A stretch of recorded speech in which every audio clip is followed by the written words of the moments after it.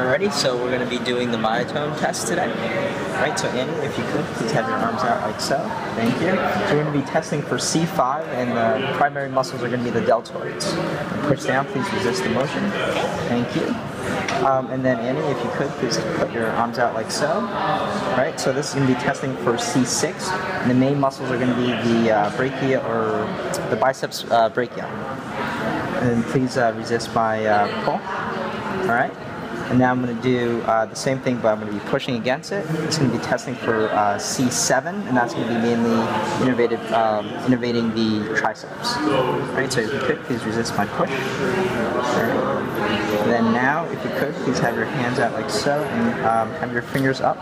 All right, so I'm going to put my uh, fingertips right on your fingertips and pull. You're going to resist it.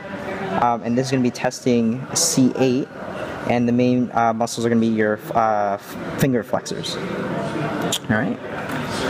Yep. All right. Good. And then finally, if you could, please put out your hand like so.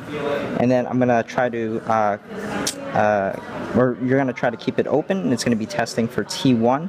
The main muscles are going to be the interossei muscles. Perfect.